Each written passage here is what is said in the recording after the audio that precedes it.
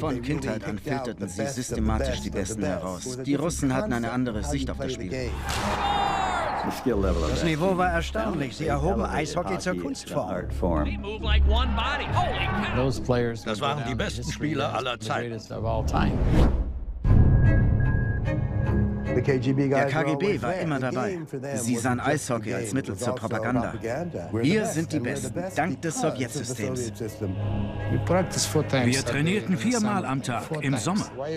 Wozu für einen Kerl spielen, der uns als Mensch nicht respektiert? Sport war eine Art Krieg.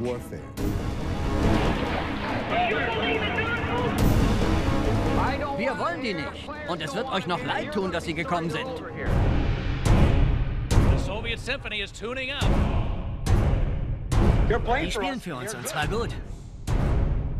How we meet the communist challenge depends on you. What if we offer Würden Sie für eine Million Dollar in der NHL spielen?